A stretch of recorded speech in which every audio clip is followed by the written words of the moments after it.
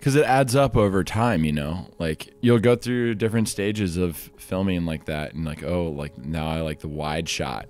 Like you get up close to the fish so it looks big. And each time you learn those different techniques you learn where they kind of fit in each story you're trying to tell. Because it's not going to be a film of just wide shots or a film of just nifty 50 f1.8 shots. Each shot has its place in a film so if you put all those little pieces together and have all these little tools in your toolkit, these little skills from filming, you know, you put them together into a film and you're able to create something with intention, like, and use that shallow depth of field to tell that part of the story that you want.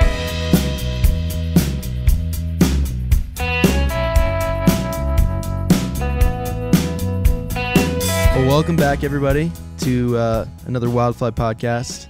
Got a special guest today, my boy Will Phelps over here. We're in Montana right now. We're in Kalispell.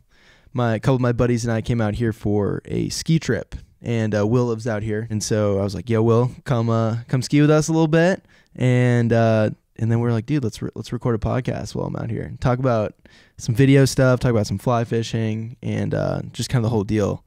Basically, what we're gonna be going over today is Will is a videographer in the fly fishing industry. He's been doing videography, photography for a couple years, and so we thought it'd be a perfect opportunity to kind of talk about kind of what that looks like in this industry, and maybe just some some uh, some tools that we've learned over over the years that uh, then hopefully can help some of you guys. I will I will preface this by saying we are not pros by any means. We're we're we're trying to teach you guys from our experience and from what we've learned.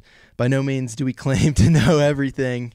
But we're just gonna have a fun chat and just nerd out in camera gear. also, I forgot to mention that before recording this episode, I took to Instagram and had you guys submit some questions you had on filmmaking, YouTube, business, etc. So later in the episode, we have a Q&A segment where Will and I go through a bunch of those questions into more detail. And yeah, it was just really fun getting to hear Will's perspective on a lot of the questions. So if you're interested in hearing more about the Q&A, make sure you stick around for later in the episode. So let's get back to it. Playing with cameras is fun. We have three cameras right in front of us. We had a oh, great yeah. time setting up this little deal right here. So glad to be here. Glad to spread some knowledge to you guys. Again, yeah, I don't consider myself a pro.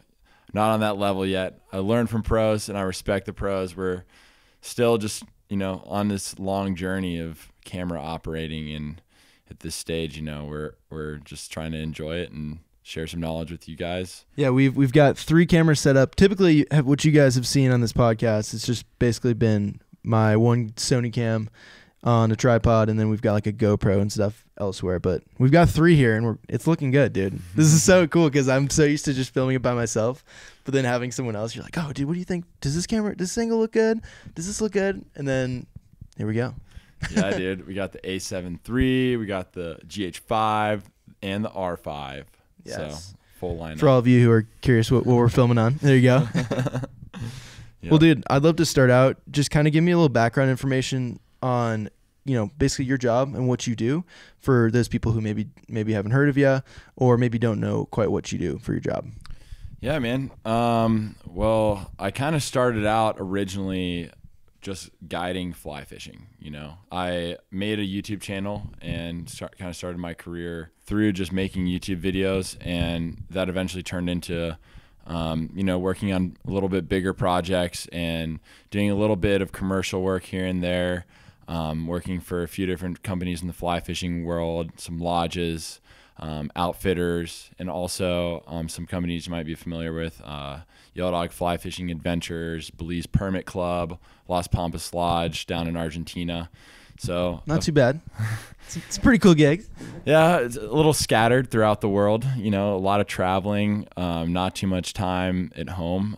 But these days, it's been great doing a lot more local work and you know, shooting more of my own stuff, which is kind of fun, you know, just for YouTube. And when I first came to Montana, I, I was just looking for a guide job. I fished hard all through college, like spent a lot of time just on the river fishing and made a bunch of little GoPro videos here and there and just loved, you know, just being on the water and playing around with gear, you know, classic things.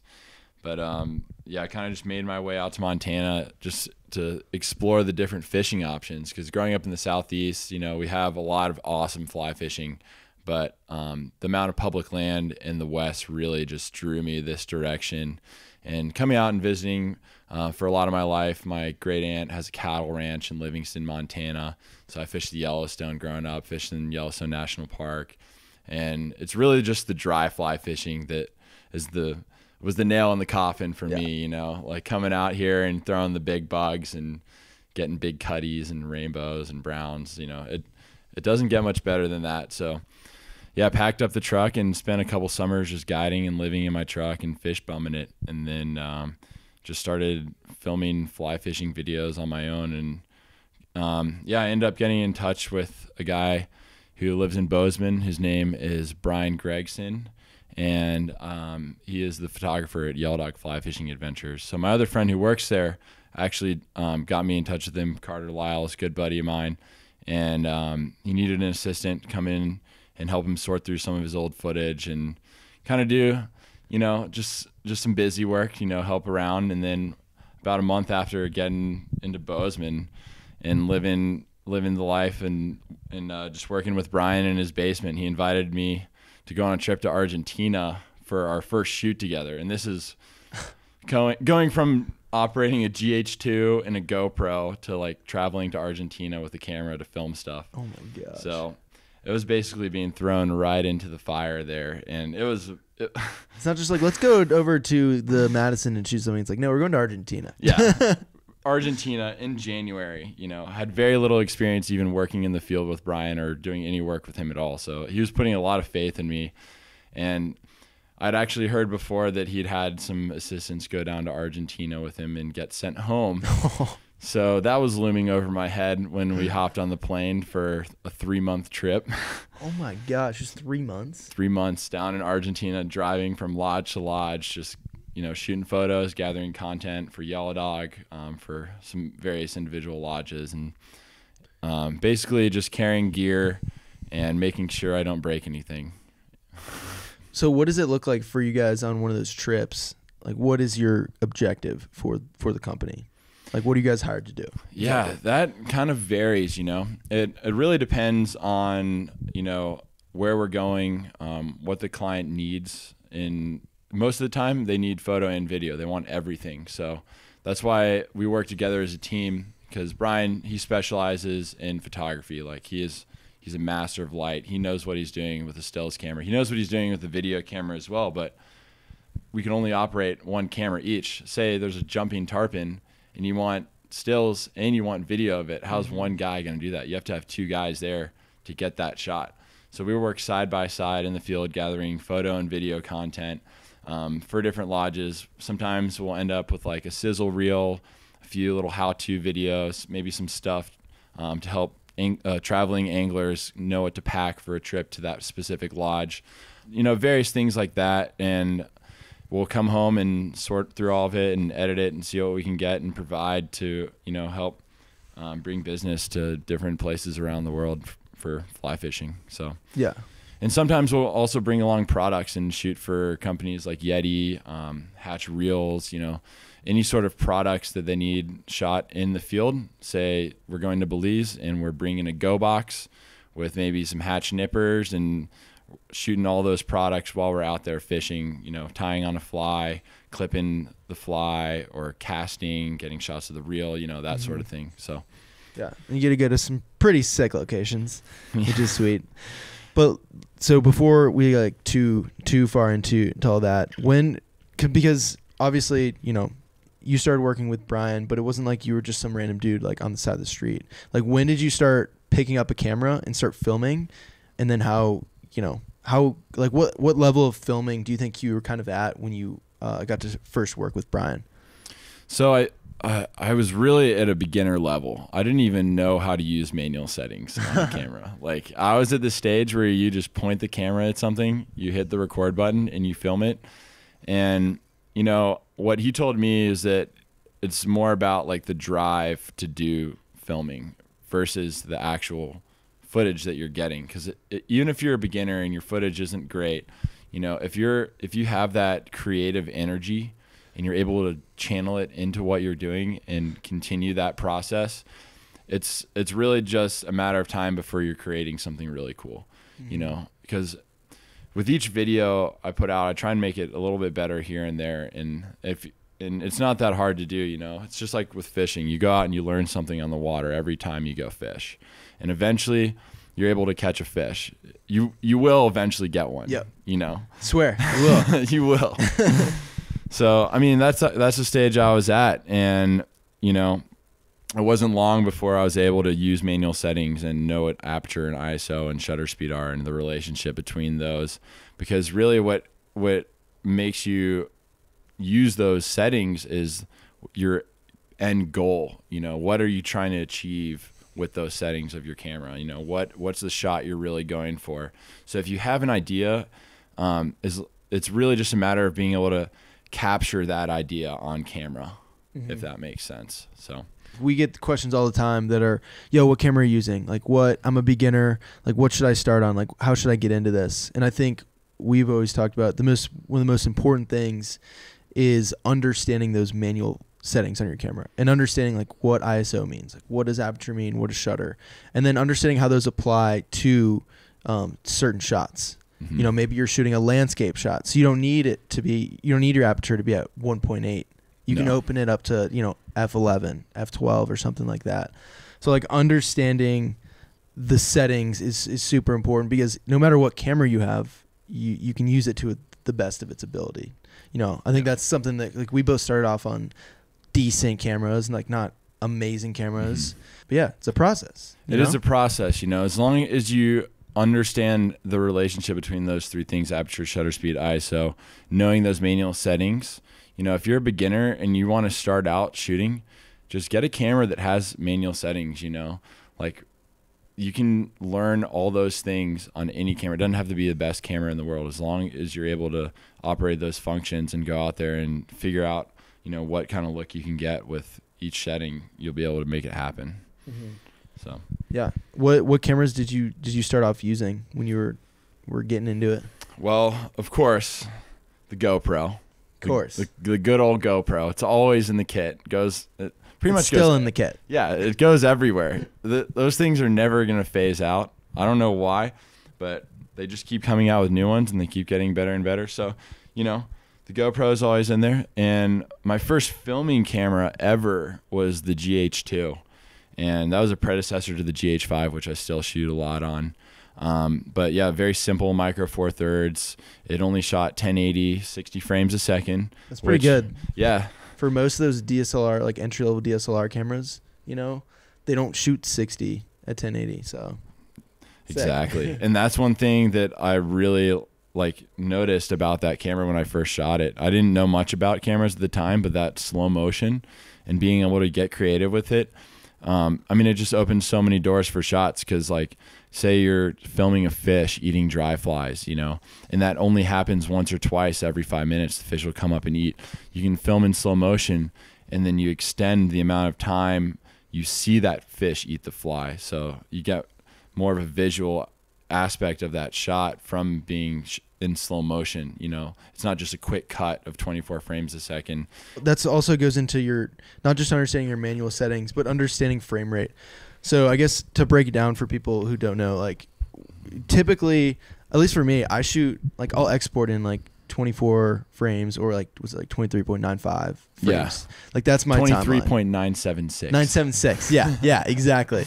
So a lot of, a lot of the 24 frames shots if you're just shooting in 24 frames a second you're not going to slow down. You're those are going to be you know your shots you know these are just going to be played back in real time. Shutter speed, double your frame rate always. Yep. Yeah, if you're shooting in 24 frames a second, you want your shutter speed at 1 over 50. And so an ND, like what we use NDs for, is so you can, you know, when you're shooting outside for fishing, especially, is like you can control that shutter and keep it as low as possible or as low to that 1 over 50. To get that quote unquote cinematic look. Yeah, yeah. Exactly, yeah, and that's Hollywood. dude. It's that was such a little trick that I figured out after a while, and I was like, wow, it makes a huge difference. It doesn't matter what camera you're shooting on, like getting the right shutter speed for your 24 frames a second looks so good. Yeah, and you'll have to like look up a video if you guys are um, kind of curious what we're, we're, talking about to kind of ma- have it make more sense. Exactly, and yeah, with 24 frames, it's if you're ever filming audio, you know, always film in 24, just because that's how you match the speaking to the actual what's happening on screen. You know. Yeah. So that's something to always keep in mind. Mm. So yeah, something we wanted to talk about uh, during this was just like the the dynamic of filming fly fishing because we both have filmed other things, but it's definitely a much different approach and different dynamic from just traditional like filming. And so dude, I'd love to hear from you like what's been what's like the biggest difference so to say that you've you found from like having to film fly fishing opposed to maybe some of your other work. Yeah, with fishing, you know, you can't always cue the fish. You know, other sports like skiing, snowboarding, um, the rider knows when to go. You can communicate. You have radios. You know when they're going to hit the jump. You know, but in fly fishing, you don't know when the fish is going to hit the fly. That you know, you never can predict that. So that's one thing that makes it so challenging because sometimes, you know, you're filming and your story is all based around this fish, but you might not ever see it. So what are you going to do if you don't catch that fish? Mm-hmm. It always makes for a little bit of a different story.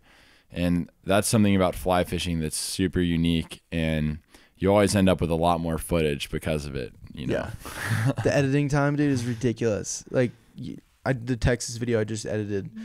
One of the days I had like five, like four hours of GoPro footage, like four straight hours, because we just had it running. But it's like things like that, like because you're trying to get that one eat that you might get, but you might have to go through all of that footage. So I feel like it takes so much longer editing time because you just have so much more footage. But have you found like ways around that from you know maybe not having to shoot as much? Yeah, it it really comes down to just like knowing when it's gonna happen. Like if if if your spidey senses are tingling, hit that record button. If you have a feeling, the slightest feeling a fish is gonna hit the fly, I kid you not, there's been plenty of times where you just get that feeling like, okay, this fish is this is it. Like this this is when it's gonna happen. Mm-hmm. And you know, that's that's not very good advice because that's really Dude, but you might you might have that feeling. That's the thing. I mean, yeah. I need to stop for a second. The light. Oh, the turned light. We had we had to let go off, guys. Give us a sec. So yeah, I think we were talking kind of about just like the dynamic of filming fly fishing, and I think something we've we've talked about like off camera before is just this idea of like really trying to understand the sport really well, like really trying to understand fly fishing before you maybe go too hard on the video. Yeah, exactly. You know, and it's interesting with filming fly fishing. There, the fishing itself is really intertwined with the videography. You know, you have to understand fishing. You need to know, you know, what's happening around you in order to film kind of what tells the story of what's going on. You know, you understand fishing to the to the degree where like you just know what shots to get. Well, another thing too is just like understanding like the laws, understanding the regulations, like just understanding the ethos of fly fishing. Like don't fish on redds. Yes. You know what I mean? Like yes. like Yeah, it's yeah. understanding things like that because then you're gonna if you post something that's that's like that, you're gonna get ripped by Yeah. people. Yeah, you exactly, you know, like fly fishing there's a lot of ethics involved, you know, like you don't want to you don't want to be that guy that's just holding a fish out of the water by the gills, you know, with pieces of grass on it and filming it and putting it on a commercial somewhere cuz then mm-hmm. that's going to get a lot of blowback.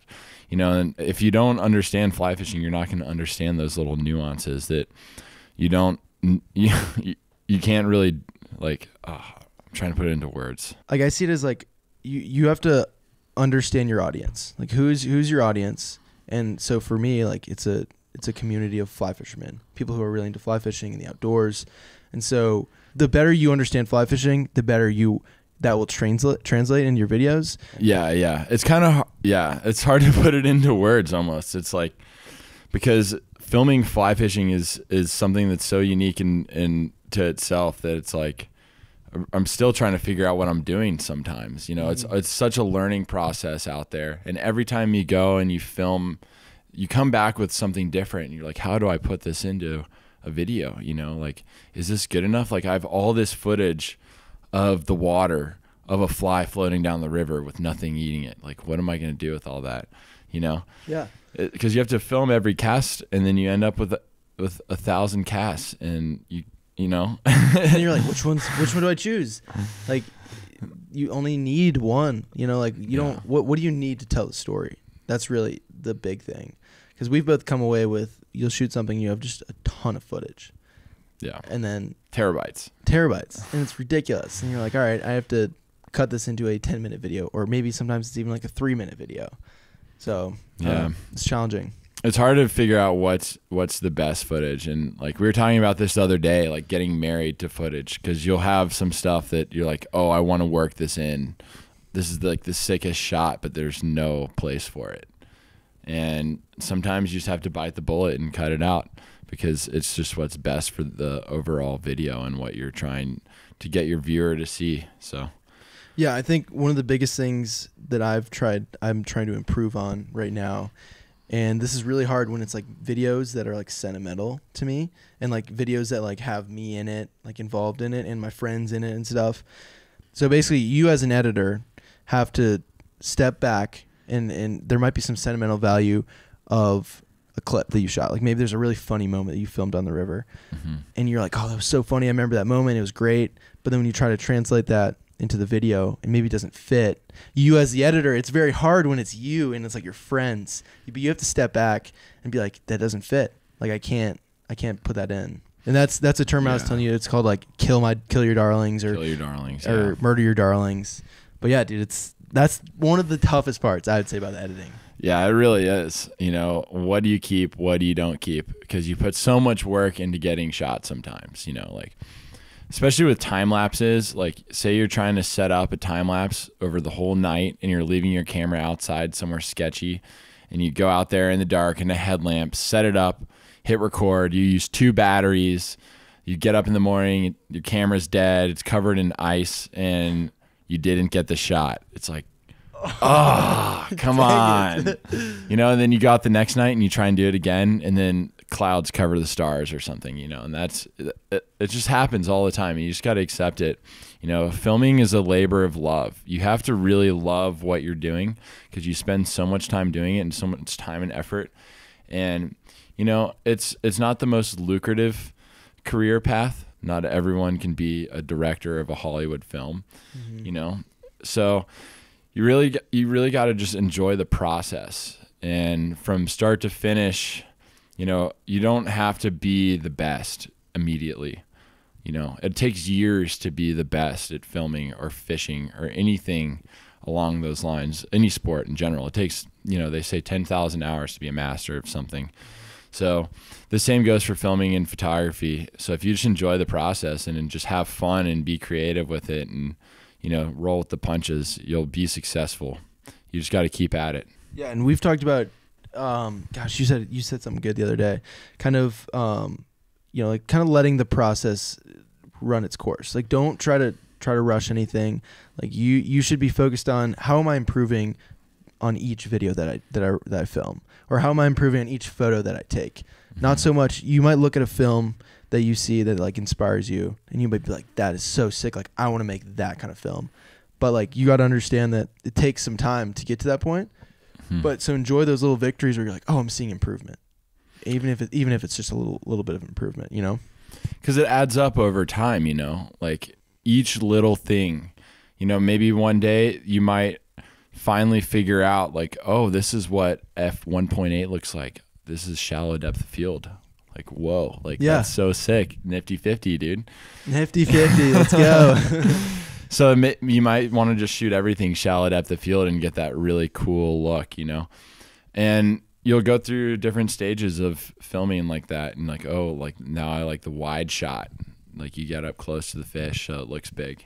Yeah, So, you know, and each time you learn those different techniques, you learn where they kind of fit in each story you're trying to tell. Because it's not going to be a, a film of just wide shots or a film of just nifty 50 f1.8 shots. Yeah. hmm you know you, those each shot has its place in a film.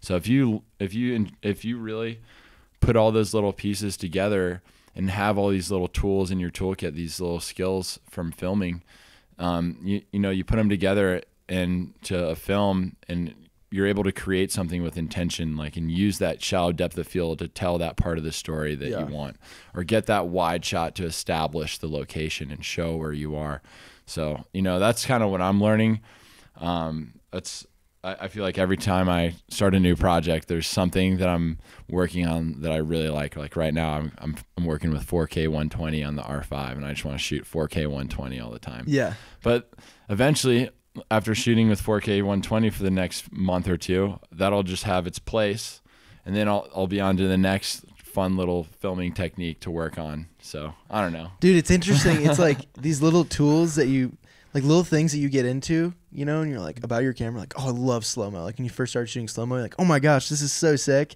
And like Yeah. all your videos are just so much slow mo, like way too much slow mo. Yeah. But then you you step back and the next one you're like, all right, you know, this is a tool that I can use, and then you learn about the next thing. It's just like adding tools to your your toolkit uh, along the way to, you know, eventually. I mean, there, you're ne- there's never like an end point. You're always learning, which is Mhm. which is what I love about like filmmaking. It's I don't know, one of the best parts of it. It's just like fly fishing. You're always Yes. learning. There's always a new technique to learn. You're going to learn the surgeon's knot, and then you're going to learn the blood knot, and then you're going to learn the double haul.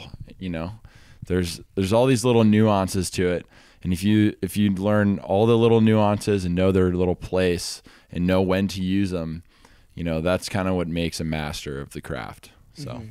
So you started working with Bryan and working at, kind of as like an imprent- apprentice or having an apprentice, you know, mhm. like from where you were. How has that improved your skill set and like and just your skills with filmmaking?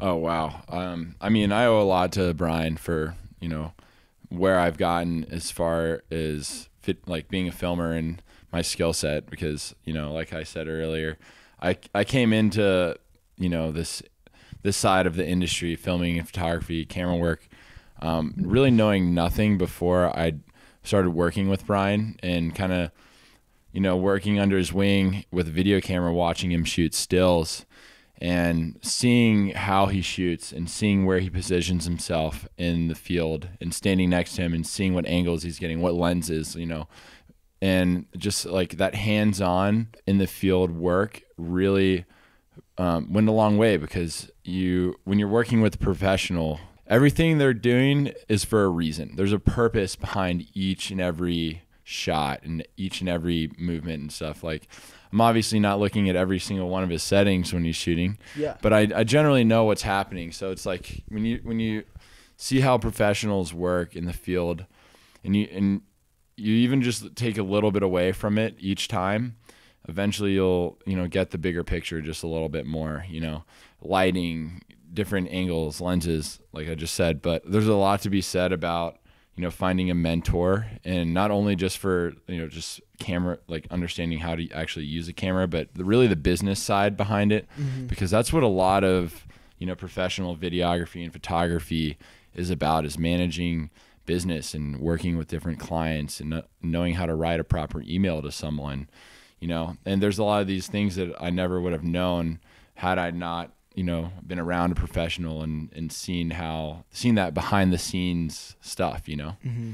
You kind of get like that foundation, and you're getting to learn firsthand, which is so unique. I think a lot of people can learn from YouTube, but if you you know if you are someone that has someone who you have an opportunity and you know somebody who you can really learn from, doesn't even have to be like you work for them. Like you could just be, hey man, like let's go out and shoot. Let's go fish sometime. You're Yeah. you you've been photog- photo you know taking photos for a while. Like let's just go let's go fish together, and you just see how they take photos and just little things like that. Always being like a you know a student of it.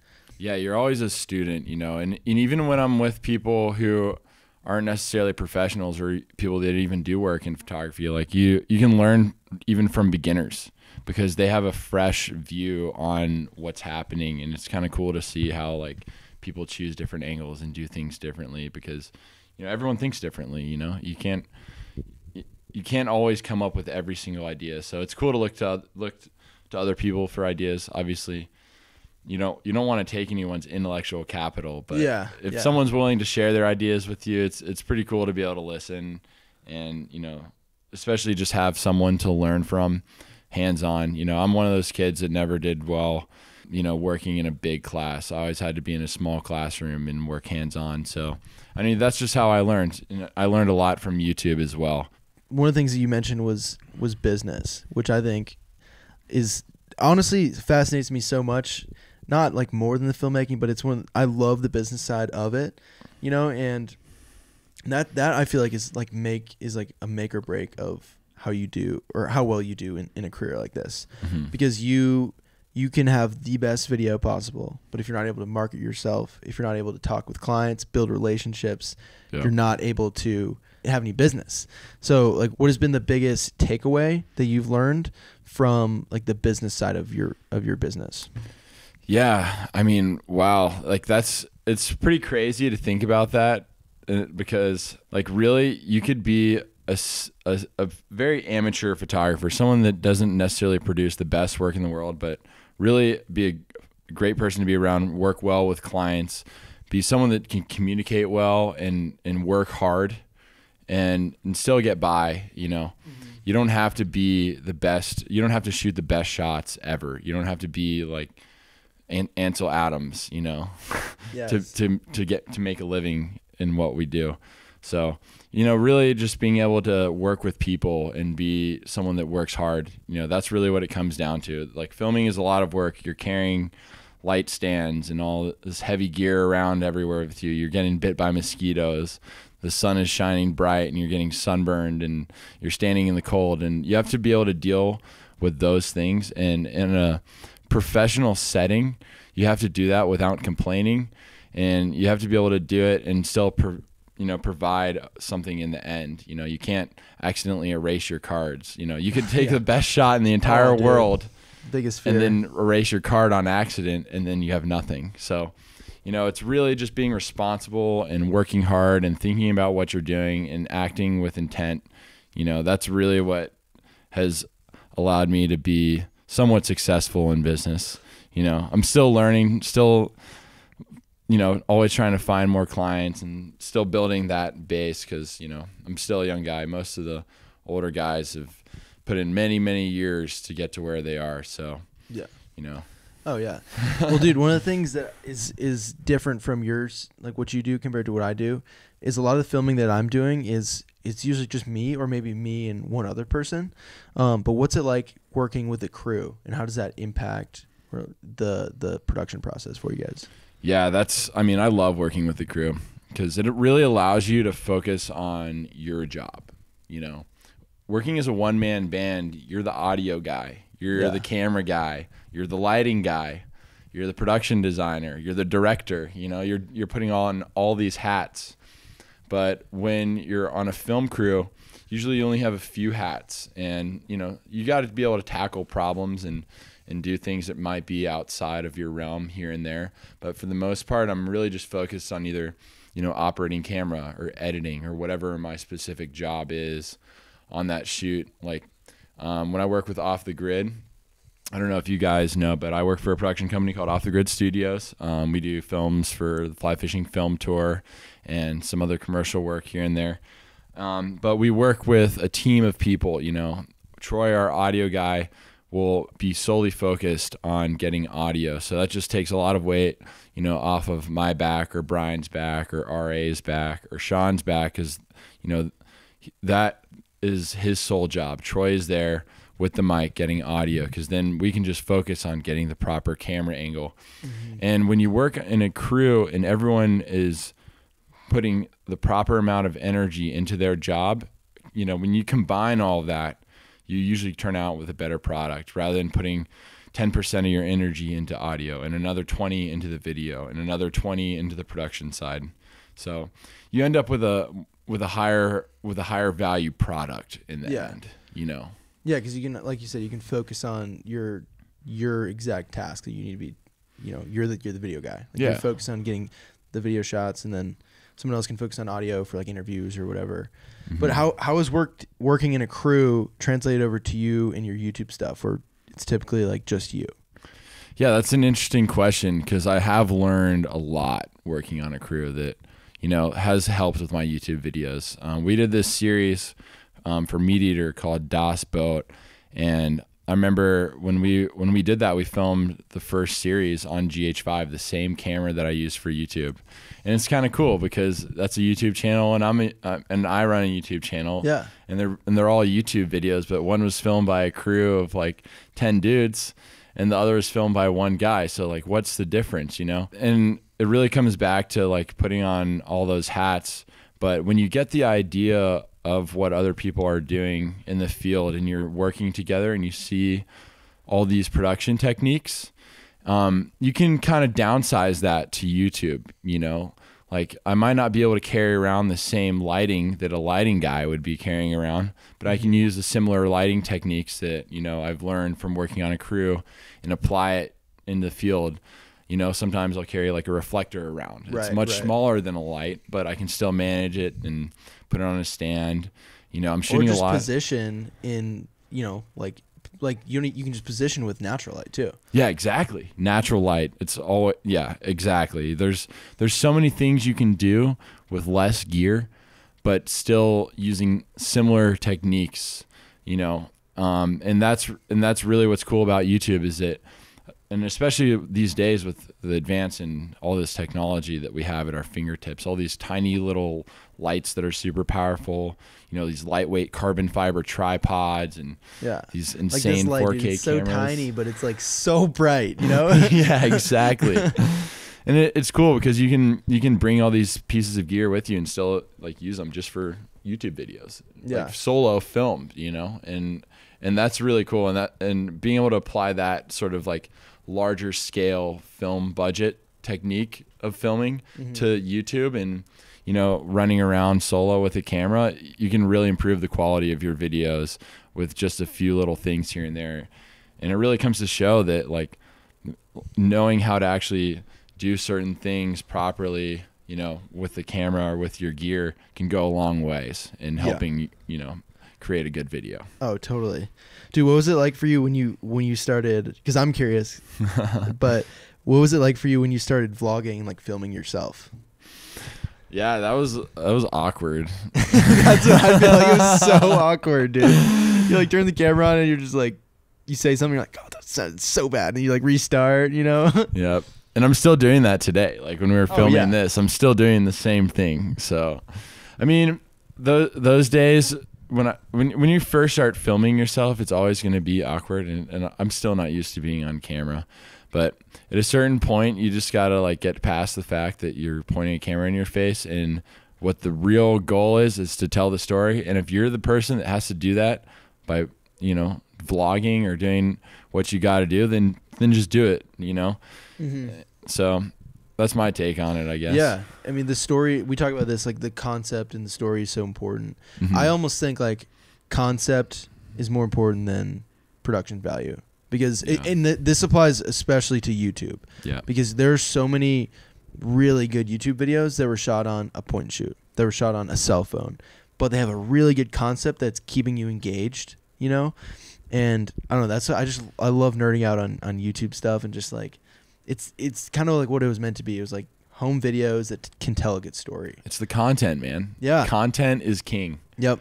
you know and that's and that uh, that's so true it's like yeah that it's it goes back to the whole thing with the GoPro right it's like you can film really good shots on a red you but are you ever going to get the same shots that you're going to get with a GoPro with a red No. you know that's that's just never going to happen the production value of a GoPro isn't as high as a red obviously but if you get the shot and you get that shot of whatever you're trying to get with a GoPro Maybe like a hook set or Like, something like that. yeah, have a hook set or like water splashing on something, or like you mount a GoPro on like a lure and cast it into the water or something crazy like that. You're never gonna get that with any other camera. yeah. So you just got to use whatever camera you have.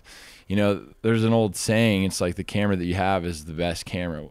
Yeah. something yeah, like that. Something like that. Yeah, it's, and and that really goes goes to show like if you get the shot, it's it's really the content of the shot Mm-hmm. that matters. It's not how good the shot looks always. If I mean if you can get the shot looking good, make the shot look good. Yeah. Like film it with a red if Yeah. you if you can. yeah. but not all of us can.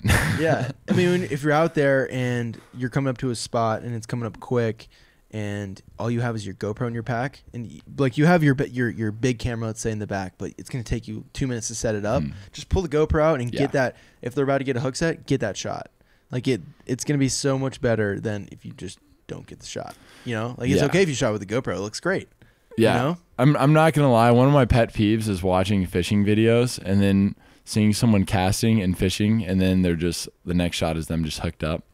You know, dude and that's that happens occasionally on a trip where you just you have that missing piece like the, maybe the camera messed up or maybe you know something happened where like you don't have that hook set it's like that missing puzzle piece Yeah. and you're like gosh i just need that piece and then it'll make sense yeah, you can't always get those shots, and it- that's what, what it all comes down to. Like you said, man, if you can get it and you can grab your phone or your GoPro and just you know get the shot of the eagle or get the shot of the osprey scooping the fish out of the water, you know, just oh totally just get it just get it. Well, so we've got we've got like a Q&A section coming up here for you guys. We we asked y'all to um, send us some questions on Instagram. But since we're on this topic, I, there was a question about GoPros and like how let me just pull it up so we so we have it. I'll just read this one and then we'll, we'll get into the Q&A in a sec, but uh, we had we had a couple questions kind of on GoPros and kind of how to shoot GoPros like more cinematically. And so this uh, Nolan Alos asked uh, advice for shooting with GoPro and overall advice for getting started in fly fishing film. So we'll focus on the like kind of the GoPro part since we're since we're just talking about that. Yeah, there's some there's some key elements to that. You know, um, shooting in the ProTune settings is a good place to start. Um, I might give away a few little secrets here. Not all not all the secrets. Not all the secrets. Personally, I just like to shoot with the flatness low. Um, you, you want, I mean, high. You want it to be very flat. Yeah. The flattest image you can get, pretty much. Because in post, you usually come back in and add the color. You know, change the sharpness and and and and basically regenerate the image in a sense. Get take it from that flat image and add the colors. Um, but that's what allows you to get the most dynamic range, you know, because GoPros have a very small sensor. They're not a full frame sensor like these other cameras that we're using. Um, so they just don't have as good of a look straight out of camera unless you dial in the settings perfectly. But if you get the settings dialed, you know, you can really get some decent shots with GoPros. With the stabilization these days, if you have the stabilization turned on and you shoot in a pretty wide format, like it's hard to see shakes. So that's one thing that separates the newer GoPros from the older ones. Um, you know, my best advice would be if you have an older GoPro, it might be time to upgrade because the Hero 8, Hero 9 these days is insane. Dude, it's nuts. Like I was telling you earlier, I was shooting with the Hero 9 today, um, just just for fun, just some skiing stuff.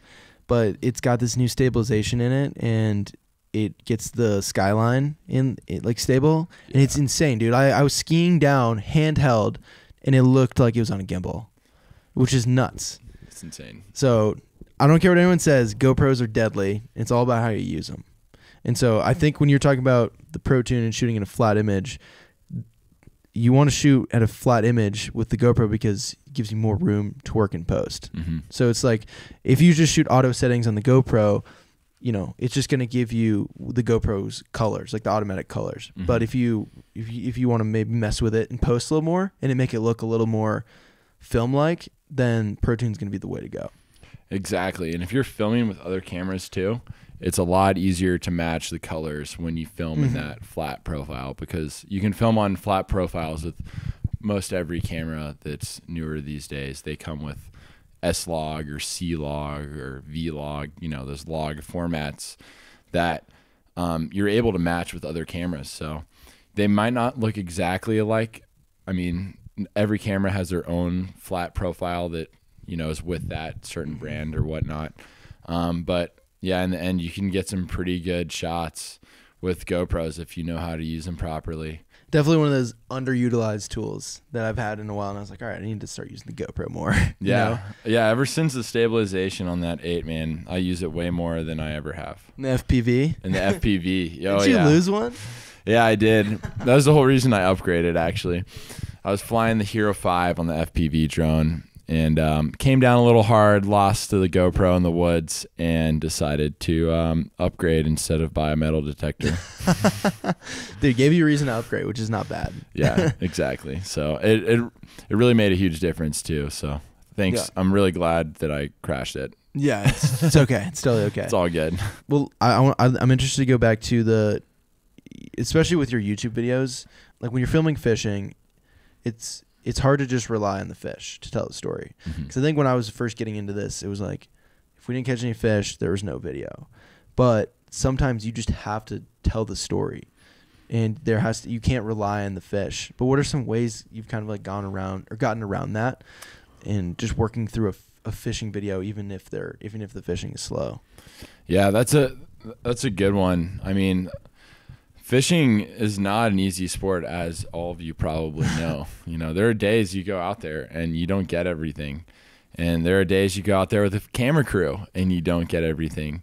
You know, you might not even catch one fish, and sometimes you still have to come out on top, especially like if it's a professional shoot and you have a client that needs you to produce something. You know, what do you do if you don't get any fish? I mean, having a backup plan is crucial. You know, like say you're gathering some marketing content for a lodge somewhere. This is actually a real example that Yeah, happened yeah. recently. We were down in Belize and there was a hurricane that rolled through while we were on a shoot to go catch a permit for a video. We were making a sizzle reel to promote a lodge, Belize Permit Club. Great lodge, highly recommend it. There you Will go. Flax, a great guy. And um, we went down there, and this hurricane rolls through. Zero fish to camera after a whole week of fishing in the rain, getting pounded by the wind and the waves, getting our gear wet. You know, we were filming with trash bags over our cameras, like in the rain, trying to get just one fish on camera, and it didn't happen. But we had a backup plan.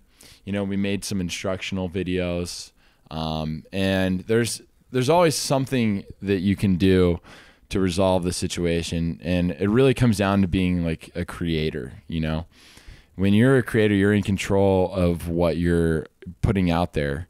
You know, you're you're the one creating it. Mm-hmm. So you have to just be able to adapt to each scenario and, you know, focus on what's really important. Like fishing is not all about the fish. If you're fishing just to catch the fish, you're you're probably missing out on some other cool stuff that's happening as well. Yeah. Because, you know, when you when you go fly fishing, you're usually in a pretty cool place with insane stuff around you, you know? Like we're surrounded by mountains and rivers and eagles and bears and all these cool things, you know, just film that, you know?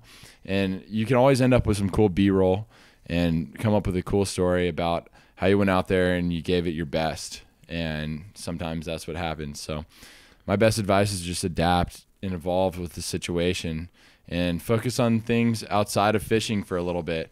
And maybe the fishing will happen because there's definitely times when you're out there putting too much pressure on yourself and you're trying so hard to catch a fish mm-hmm. but the fish might not even be where you're fishing you know? Yeah. you just need to st- take a step back you know? Yeah. And when, so when you're like putting together these videos, especially especially like the YouTube ones, um, are you do you have like a, a plan going in? Like, is there a pre-production kind of phase for you, like where you're you're mapping out kind of what you want this the story to be like, or is it typically like let's go out shoot shoot some video of us fishing and see what see what comes of it? Like, how does that work for you? I mean, a little bit of both. You know, there's definitely some videos where it's like, all right, I have a weekend to go fishing. Um, let's go on an adventure and just see what happens and document it. Like that's always fun. And you know, it's it's kind of an easy way to approach it too, in my opinion, because um, you know you don't have to put a whole lot of effort into creating a story. And that's really nice sometimes to just go out and film and just have a good time with the camera with the bros and get on the Yes. drift boat and just and just you know enjoy the enjoy the whole thing Mm-hmm. you know? And then there's other times when I'm, i feel driven to like come up with a story and you know really tell something that might be a little bit more than just an adventure fly fishing trip. You know like Right. maybe there's like an environmental issue that needs to be brought to light and you have to do a little research and dig a little deeper than just you know going fly fishing. Mm-hmm.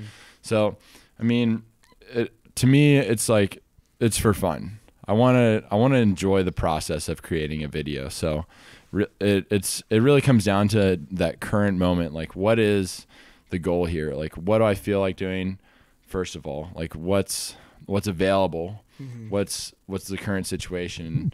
And you know how how do how do you see it turning out in post? Because there's the, there's three films basically. There's the film that is scripted There's the film that's filmed, and then there's the film that's edited, and all of them are different things, and you have to adapt like to each part of the process. So Yeah, no, that's good because there's things like you can ha- have the idea, you know, the initial idea and like how you're going to shoot it, but then you might go into post and be like, oh, we could let's switch things around really quick. mhm. Like let's move this over here, and then it looks it looks a little bit different. You're like, wow, it's a completely new product. yeah, But I don't know what what what I'm do you sure like? What do you like that. better? Um, do you like the editing process or do you like the filming and like scripting and like uh, planning process better? oh, dude, that's a tough question. I mean, all of it is fun. It's it's hard to choose one. I mean, the field work is it's hard to beat because that's that's where a lot of the you know experience is had and you know you're not sitting in a chair you're not looking at a screen Yeah. so that's that's definitely enjoyable but a lot of the magic really does happen in post because you th- see things that you might not have been paying attention to in the field or like in the moment and then you get back and you and you're looking through the footage and there there you, you got to figure out how to turn these pieces of the puzzle into the finished product. And and you're and you're chiseling away at a block creating something that is totally totally new you know it, it's it's a whole it's a whole process and they really both complement each other Yeah. you know as a filmer i couldn't choose just one to focus on because being an editor helps with filming and being a filmer helps with editing but in the end i would probably say that i do like the camera work the most because mm-hmm. you know being outside and and exploring and traveling is a really fun process on itself so Yeah. And also I'm still learning editing. I'm not a master of it yet. I feel like if I if if I were to pick a skill that I have, it'd probably be the filming part because there's some editing that is totally beyond my capabilities. There's some technical stuff like After Effects and all these Oh, yeah. programs. I don't even just- bother. I don't even- I've been like avoiding After Effects for so long. Like I eventually want to learn more about it, but it's just I don't know. Like you can do a lot in Premiere. You can do a lot in iMovie. Like you can. that's the thing, dude. So many people ask like what you know, what editing software you use, like you know, what should I use to get into? And it's like whatever is available Yeah. for you. You know, use that and figure out how you can use again that editing software to the best of its ability.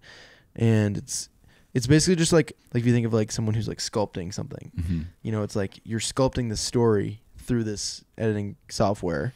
Um, and they're all kind of different, but they all are the same. Exactly. Like it doesn't really matter.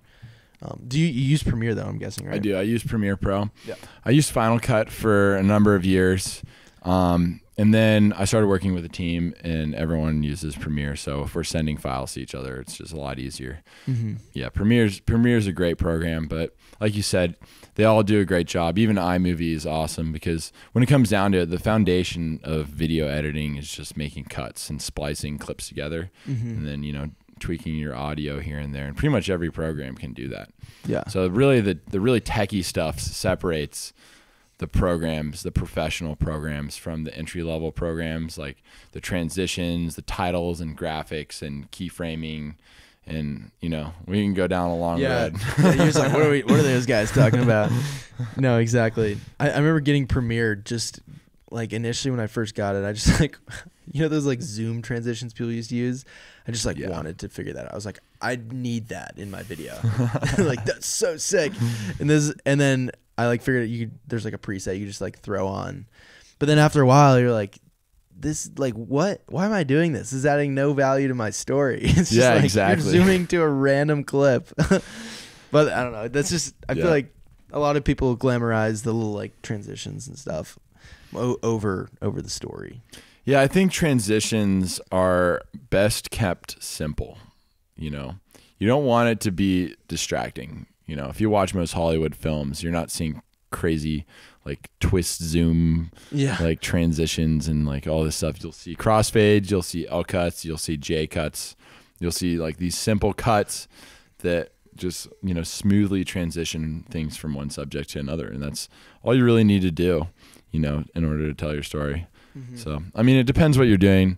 Sometimes those crazy transitions and cuts are really good if you're editing something like for a commercial, like if it's like quick and bouncy, you need something that's like a hype, com- kind of a hype commercial. you Yeah, know? something like that. But So, like, when you're getting into this, wh- who, is there anyone that comes to mind that like was a big inspiration for you, being like, I want to get into filmmaking, and like this, this is like who I, like, got me into it.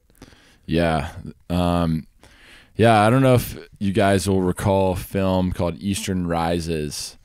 It's I've seen it, It's, yeah. it's a pretty epic fly fishing film, um, filmed in Kamchatka, Russia. I'll never forget the first time I watched that, and this is when I was first beginning as a fly fisherman too. You know, early days back when I was in college and stuff, and saw this film, and I was like, wow, like I want to create something like that. Like that truly inspired me to not only just like fish more, but to also operate a camera and, and get more into fly fishing filming because it was so influential. You know, the stuff that um, the guys at Felt Soul create is some of the best work in my opinion, and and and they definitely were a big influence on um, I, I guess getting into fly fishing filming. Yeah, So dude, I remember watching that like the night before we'd go on like a fishing trip just to get stoked for the next night, and like it was, dude, it was I don't know. There's like there's like certain feeling that you get when you're really new to the sport and you're just like you you see it, you find a cool film, and you watch, and you're just like so stoked to go fish the next day. And I think that's one of the coolest things about like what we do is like we're able to yeah, even if we don't realize it all the time, it's like we're able to uh, offer that up for, for certain people, you know, and just Yeah. share that experience that we love with an audience of people who are who who enjoy the same thing. Yeah, that's that's what's so cool, man. Is that's like almost what it's about. It's like getting an audience to feel how you feel when you're out there on the water. You know, that level of stoke that you get when something incredible happens and all the stars align and maybe you get that permit to hand or that bonefish or that big brown or something. That experience, being able to catch that on camera and and tell it and tell that story and have the viewer feel the way you felt and mm-hmm. and being able to like put someone in your shoes when you're out there like and it's actually happening is insane you know that's that's part of what makes filming cool is being able to tell that story and you know make a viewer feel that certain way like that Yeah, you know what i mean It's it's like, you want it when you're editing it. You're like you know how it you, it ex, you know how it was and you experienced it and you've got Mm-hmm. it filmed. And it's like how can I transition that or how do I translate that over through the video to the Mhm. audience because I want them to like feel that same thing, you know. Yeah, and I think I think YouTube is one of the biggest things with YouTube is is really just the relatability. Like I always try to make stuff that's like relatable for the audience Mhm. because I don't claim to be anything. I don't. I don't try to claim to be any pro or anything like that. But it's like I want to make stuff that like you or whoever else is watching like might might be able to go experience as well. Like they can just get the boys in the truck, get the get the rods in the back, and just go head out for an afternoon. You know, like stuff like that is Yeah. so it's is so relatable, and I think that's like what people can connect with. Yeah, exactly. It's it's cool to be able to watch videos like your videos, especially man. Like you you tell the whole story in a way where you're out there and you're filming and you and you get that B roll of just getting in the truck and getting your Chick Fil A sandwich and whatnot. Yeah, yeah. and it makes you feel like you're you're there and you're doing it and you're experiencing the, that awesome day with the homies going out fly fishing because not everyone can do that all the time. It's cool to be able to, you know, get that experience from sitting on the couch somewhere where it might be, you know, 20 below and you can't go fishing, Mm-hmm. but you want to go fishing, so you watch a sick fly fishing video Yeah. and it, it brings you back to being on the river standing in waders, you know, making that perfect loop cast. Oh yeah, yeah. No, exactly. All right. So before we get into the questions, I'd love to hear because you've been able to film in some really cool locations, in some really unique locations, which is sick. But what what would you say has been your favorite place that you've gone so far? Wow. Yeah. I've been pretty fortunate, but honestly, if I could pick one location that I'd go back to that I would probably live and probably never want to leave is Patagonia, man. Oh Argentina is so freaking sick. I mean, it's just a wild, wild place. It's like the West was like 50 to 100 years ago, maybe. You know, there's still cowboys, the gauchos down there. You know, you have these mountains that aren't covered in trees on the top and it's low elevation. It's got this like alpine like crazy gnarly feeling to it and it's really windy and there's all these crazy plants that don't grow here and animals you don't see here, but Mm-hmm. it's still just like the Rocky Mountain West, just on the opposite side of the world, you know. Yeah. And it's also got incredible fly fishing, incredible food, incredible culture. Um, you know, it's it's it's a very unique place. And if anyone who's watching this hasn't been there, I know it's probably not the easiest place to get to. And not everyone can go there, but if you get a chance in your entire life, if if I could go one place for the rest of my life, that would probably be a Bucket list trip. bucket list trip kind of deal. I feel like every, I've never been there, but I feel like everything there and a lot of the rivers are just so like so untouched and just so out there. Like you feel like you're just like there's no human interaction with with the fisheries there. yeah, you can you can get way out there. I mean, these days the the main fishing interaction is from us, you know, traveling anglers that go down there on guided trips usually. Um, I mean, there are some local anglers as well too, but a lot of the fishing you'll do is on gaucho land um, or like private land that people gain permission to or you know have Mhm. deals with uh, the local landowners to gain access to these stretches of water. There's not a ton of public water, um, but the the water there it varies a lot. There's spring creeks, there's big rivers, there's freestones, there's tailwaters. You know, it's very similar to the American West, but um, it's it's very different in a lot of ways as well. Yeah. So I don't know. It's it's it's insane. Dude, that's sick. I'm definitely jealous. I, I need to make it down there eventually. I think it'd be uh be fun to roll roll the bus into Patagonia. Yeah, Maybe dude. yeah, the short bus could definitely get down to Patagonia, dude. yeah. You can get down there. You don't even have to drive it back. Just you know, We'll probably just leave it there. Just leave it Maybe there. Blow it up or something. yeah, dude. One day.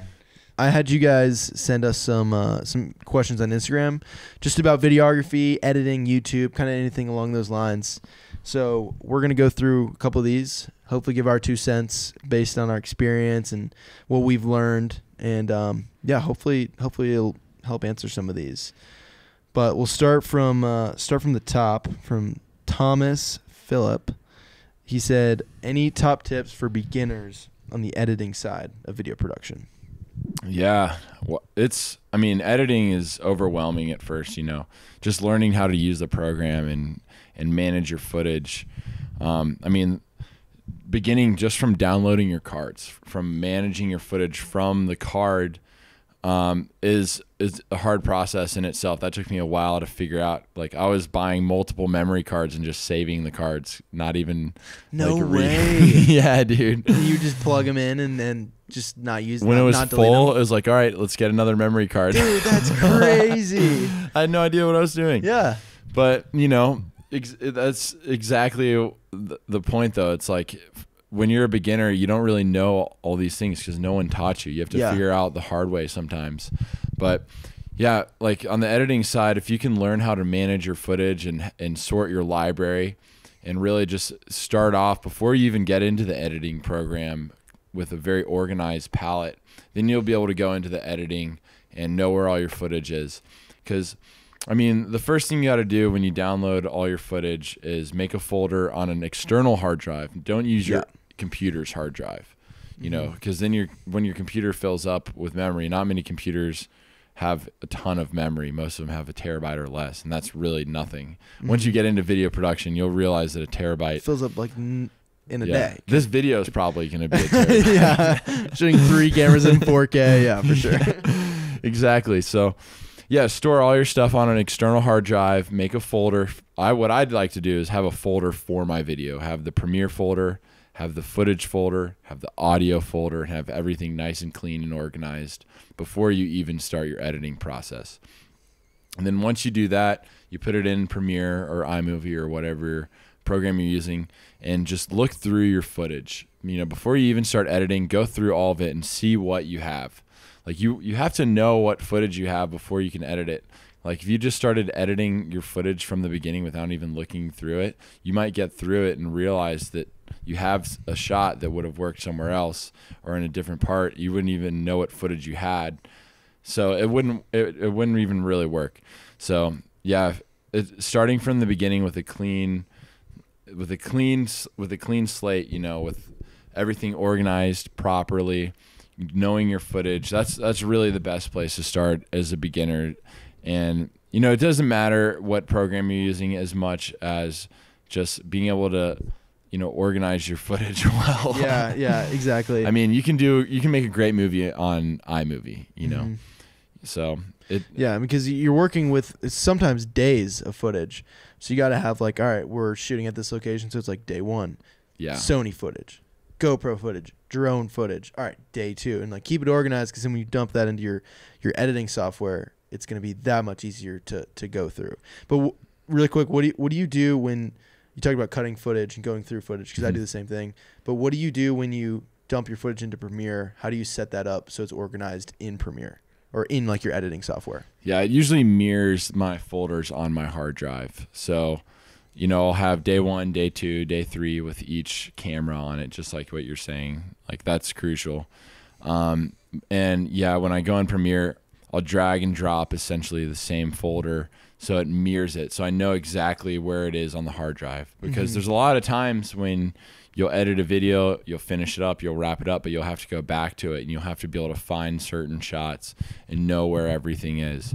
So like I, I can't stress enough how important it is to know where all your footage is and organize it properly from the moment you import it Yeah. you know and Mhm. and always clear your cards afterwards too because sometimes you'll put your card back in your camera and keep filming on it and then you'll download your footage and you won't know which footage on your card is on your hard drive and Yeah. you can double download sometimes or you might not download everything so if you download your footage you double check everything's been downloaded then you clear your card It's a scary feeling. it's a very scary feeling it always is you'll never You're like, I see the footage right there, but I'm terrified to hit format. every single time. I'm always scared.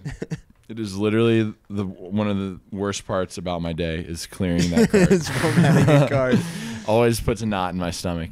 But once you do it, then you'll know that you'll come back to the download the next day and everything on the card needs to go in that folder for that day. You just drag and drop the whole thing. It's all on the hard drive and then you clear your card again and then it's mm-hmm. good to go. And when I'm on a shoot that really matters, I always bring a second hard drive and mirror the first hard drive onto that second hard drive Gotcha. so that you have two copies of everything. It's not going anywhere because hard drives do go bad. And if you're traveling, give your give someone you're traveling with the other hard drive, and you take the second hard drive to make sure none of that footage gets lost because you put two weeks into a shoot, and that whole two weeks of work and travel and everything relies on that hard drive. Oh my gosh. And that is a stressful feeling. yeah, it's like if there's a fire in your house, what's the first thing you grab? My hard drive. Yes, I have a fireproof safe that I keep my hard drives oh, in. that's clutch. Yeah, all of them go in there. So it's- Brilliant. I can't brilliant. I can't even stress how important it is to protect your assets. You know, Absolutely. Okay, so this is a good one. This is from Frosty on the sauce. Nice, nice Instagram handle, dude. saucy. he said, uh, "What made you want to start recording?" Yeah, I mean, it kind of goes back to what we were talking about earlier with, you know, trying to, you know, transmit those feelings of stoke to people that are watching the video. You know, because fly fishing gets me really stoked. I'm sure it gets all of you stoked. Oh yeah, It's it's one of the best things you can experience in life, and being able to capture that on camera, and you know be able to replay that and and share those moments, uh, those like really insane things and cool things that happen on the river, is what got me into recording. You know, um, it's like that. It's that feeling you get when you watch a really cool video and it makes you really excited to do something. It's like that's that's what got me to to start filming. You Yep. know and it's and it's just a really fun process that you can enjoy the whole way through of making a video. I mean, it's it, again, it's just enjoying the process, and it's just so fun, just being creative and getting different camera angles and and using and using all these pieces of gear and just like Yeah. hanging out with your friends and I don't know the whole the whole process. There's so many fun. aspects to it, and I think it's cool. It's it's really cool to see, especially after years of doing it, like being able to look back and be like, "Wow, I've made progress." Mhm. Even if it's just a little bit of progress on something, like being able to see that you've grown because you've put in a bunch of time, and you're seeing that you're getting better at it. You're getting better at it. It's like fly fishing. The more time you spend, you're getting better and better and better. And I don't know that that feeling is just so. I don't know. I gravitate towards that. it's rewarding, man. It's very rewarding. that improving is so rewarding, you know, and yeah, you can progress a lot from the point that you start filming to, you know, so, somewhere later in your career. And if you're not, then you should probably pick another hobby. To Yeah. be quite honest, yeah, especially in this industry, do not get into this if you're trying to make a lot of money. Like there, No. there is opportunity to make money in this industry for sure, especially in the video side. But you gotta, I, th- I feel like getting getting into it, you have to be in the right, with the right intentions. It's you, a labor you have of to love. Really enjoy it, um, and and not have huge expectations for money. But then if that comes, great. If it Mhm. doesn't, that's okay. You enjoy doing it. You know. Yeah, and it'll come. It'll come if you put in your work. It'll come around at some point. It'll it'll all pay itself back. You have to pay your dues. Yeah. You know, just like anything else. Like Totally. Yeah, that's good.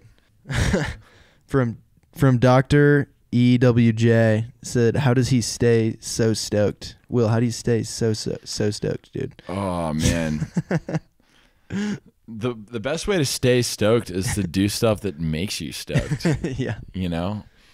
Like living here, we're fortunate enough to have access to a lot of really cool rivers and amazing resources at our fingertips. Um, you know, and it's and we and, and and we're fortunate enough to have the time to be out and go fly fishing and do things outdoors, you know. And that's really what it comes down to is just is just doing it. If I have time, I'm gonna go fish. I'm gonna go film. Like if I'm not I'm not gonna sit around and just watch YouTube videos, which I love doing, uh, but I'm gonna go out and make them and just and and be out there where these things happen. That's how I say stoked, dude. It's Yeah. just getting out every day as much as possible, doing what I love to do. Yeah. You know. Because you do a lot. I mean, you bike, snowboard, fish. Like, dude, you do it, it all. Climb, and so and you've got all of that here, which is pretty insane, dude. I'm quite jealous. Yeah, I'm I'm pretty fortunate and you know, I wake up every day pinching myself, really thankful for just all this incredible public land that we have here in Montana. You know, if we didn't have this public land, I wouldn't have anything because like literally everything I do is on public land. Yeah. I live on like half an acre. I can't do everything here, so. Yeah, yeah, yeah, exactly. So Aiden T. Lincoln asked, "Do you ever deal with the insecurity of wondering whether your films are good enough to put out?" I do. I absolutely do. Um, you know, what you put out there stays out there usually, you know. It could unless you delete it, obviously. Yeah, yeah, But you know, when you upload a video, it's out there for people to see. And there's definitely eh, something about each video that I upload. It's like, okay, is this good enough? Like, do I is this reflecting, you know, who I am as a person? Like, do I am I proud of this? You know, is it did I put in the proper effort here or did I just, you know, waste my time making something that isn't worthy? Mm-hmm. And, and that question crosses my mind a lot. And as I improve, I look back at a lot of my older videos. I'm like, oh, that's really not that good. yeah, yeah. Like, oh, crap. Like, I get that feeling. And, you know, sometimes, you know, I don't release videos because of that. Like, there's a few videos I filmed this fall that just weren't up to par. And I had to bite the bullet and kill your, kill my, murder my da- daughter. Murder, mur- murder your darlings. Murder yeah. my darlings. Yeah. my daughter. no, we're just kidding. We're just kidding. But that sometimes you got to do that, you know, because it, you don't want to put things out there that you're not proud of, you know, because then you're gonna regret it. I mean, that's it's really important to to put your passion into your work, and if you don't Mhm. feel passionate about it, it doesn't really, you know, get you stoked. yep. Then then just move on to the next thing. You know, Wor- focus on what matters. Mhm. You know, and Like one project might be kind of stale, and so I think it's good sometimes to work on multiple projects because there's you might be just like at a roadblock at this one project.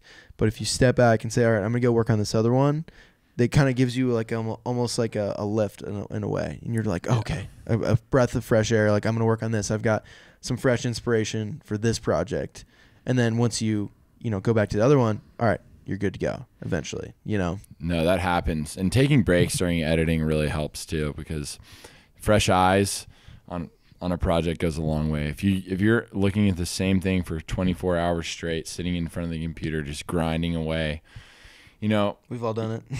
yeah, exactly. You go into the rabbit hole of trying to get the like perfect cut or the perfect little text to align in this little like thing and and you get so focused on these little nitty gritty things that you forget about the big picture. So if you take a break, take a couple of days off, and then go back and rewatch your edit, you know mm-hmm. you'll see a lot that you didn't see if you're just so focused on it. You know, yeah, so having multiple projects to work on is something that I do as well, and it, it's really healthy because then sometimes an idea will come to you while you're working on some one thing, and then you can just switch back to the other, and then and then really apply, you know, something that'll fix whatever you're having a roadblock on. So, Exactly.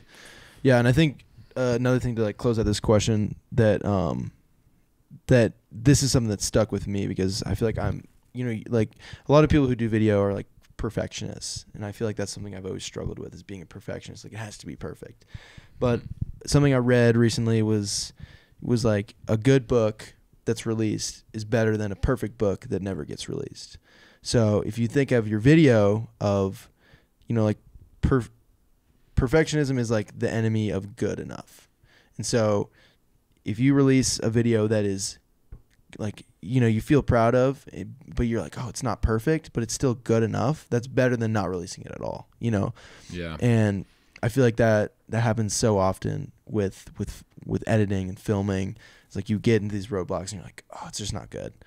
But like if you put it out there, you know, it's it's better than if it, if it wasn't even like created. Like you you're like, oh, I have this cool Yeah. vision, but then if you don't ever create it, then it, it's never it's never created. You know, it's just an idea.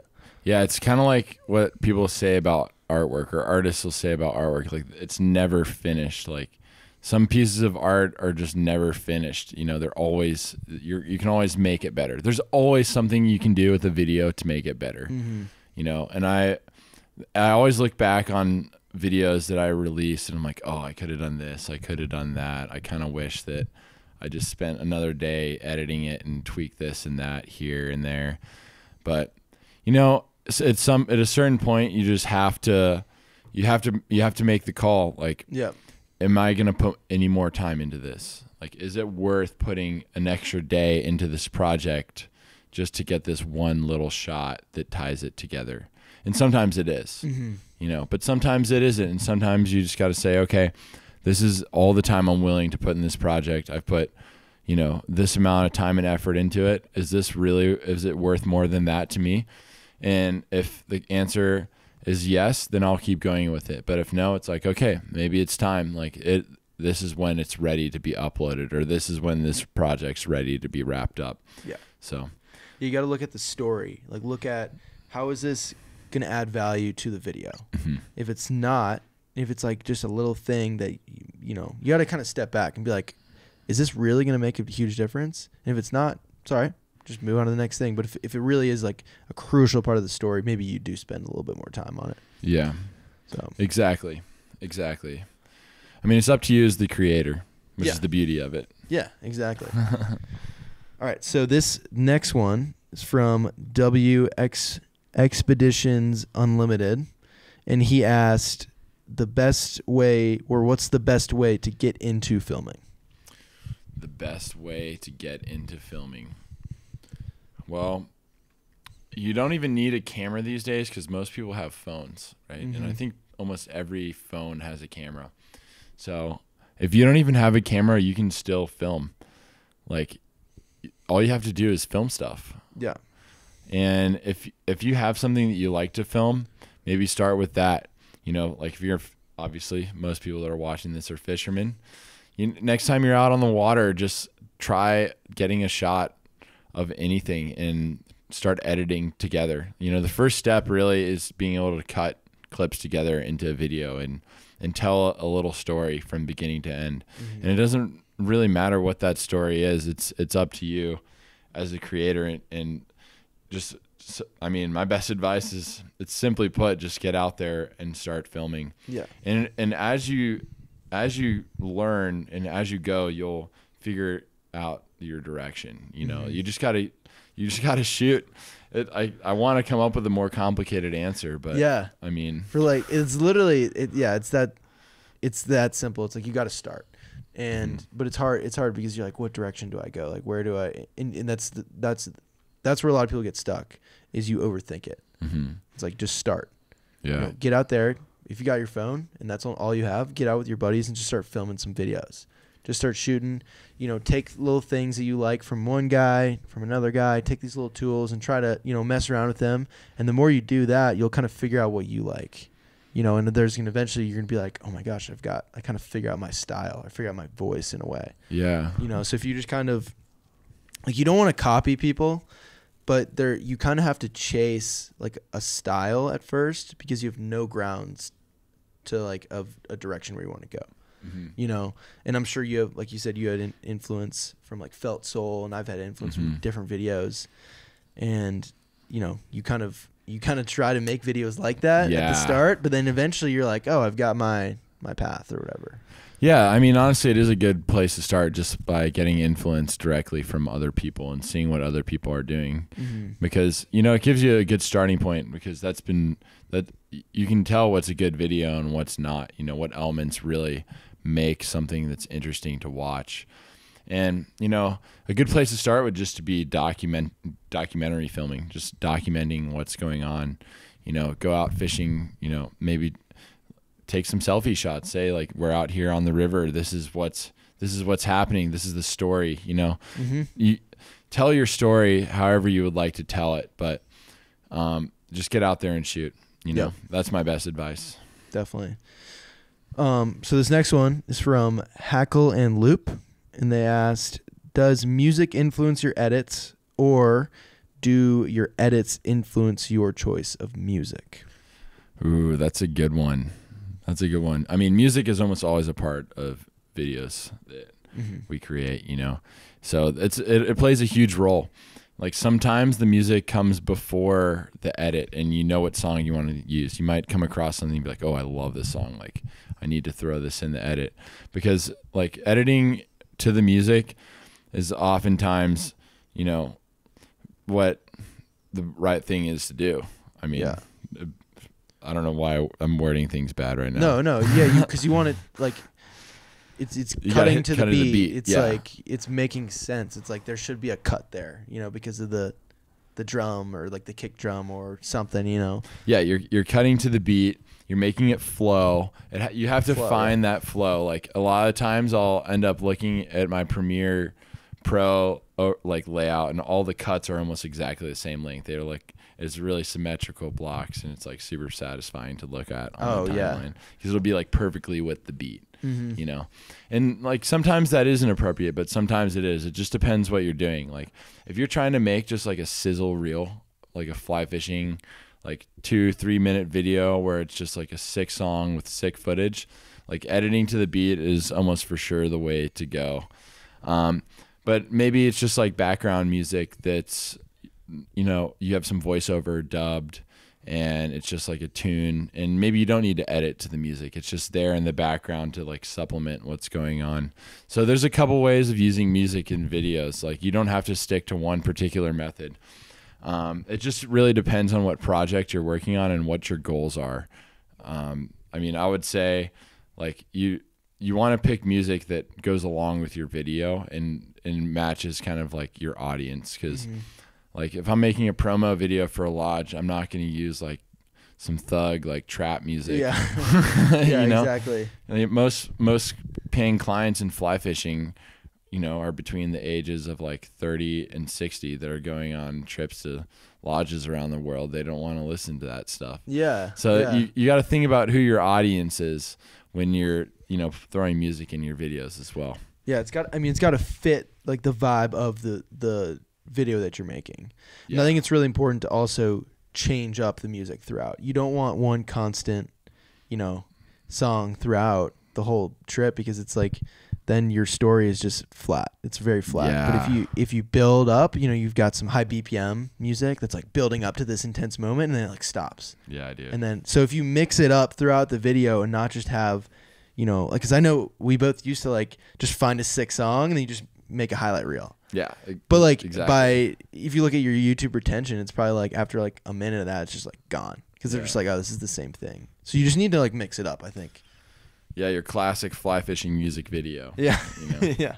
But yeah, dude, that's one thing I've noticed in your videos. I really like is the scoring.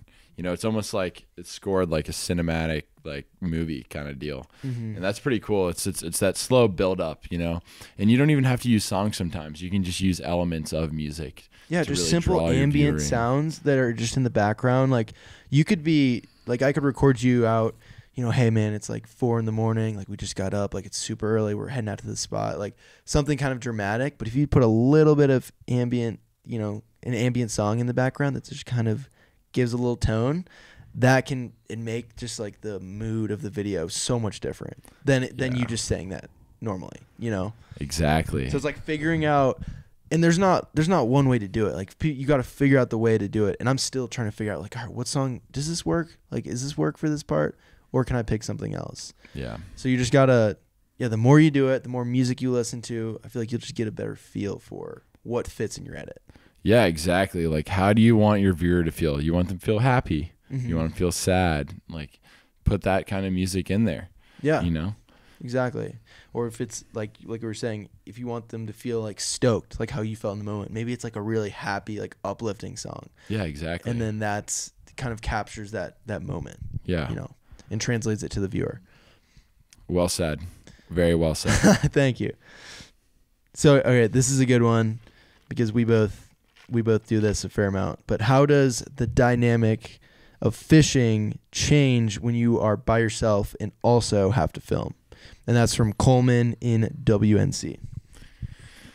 Yeah, the dynamic of fishing definitely changes because you're doing a lot less of it when you're filming. a, it's harder because you're not spending as much time fishing and you're trying to catch a fish. So your chances go down Mm-hmm. in actually making something happen. So that adds an element of challenge. And then you're setting up a tripod on the river a lot of the time. You know, I I, I, I like to film with my GH5 or now the R5 as much as I can yeah. because you know you get a better image from it. The GoPro shots have their time and place, but if I can avoid it, I usually try to.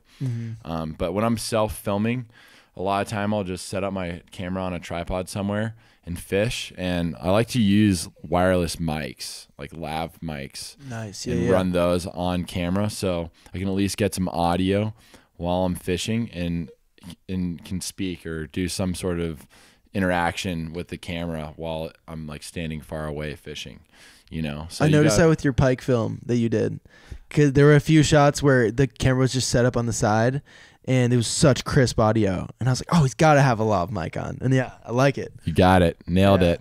Nice, Yeah, dude. the Rode Wireless Go is has been my go-to lately. I really like that mic. It's super easy to use. You can connect a lav to it, or you can just, you know, run the Wireless Go on its own. It's like really versatile tool. But yeah, that's an that's something else that I want. Uh, yeah, I should touch on is that like audio is such an mm-hmm. important part of bringing your viewer into your video. Because once you take away the audio like you can change the whole dynamic of a video but when, but when you have like good audio like your story is brought to life you know? You can really you know get get your viewer to feel what's going on Yeah, like you what, know? what you feel like they're there, like you yeah, were saying. Yeah. exactly like that crisp audio you hear that it sets the tone like you could you could turn the video off on this podcast and just listen to us talk and you know that's still a podcast Hopefully it sounds all right. yeah yeah, no, it, it, it's we talked. I talked about this with Bryan on the podcast we were on, but it, you know, audio's. I think you like hear before you see, and so hmm you know, audio also makes it gives that extra feeling of like you feel like you're there, kind of thing. it's such an important component to video so yeah when i'm when i'm self filming like i focus a lot on audio and then Yeah, well, I'll go back into to the GoPro deal. That's also a very useful tool mm-hmm. because you can run a GoPro pretty much the whole time you're filming by yourself without having to put a ton of effort into moving tripods around and carrying tons of gear.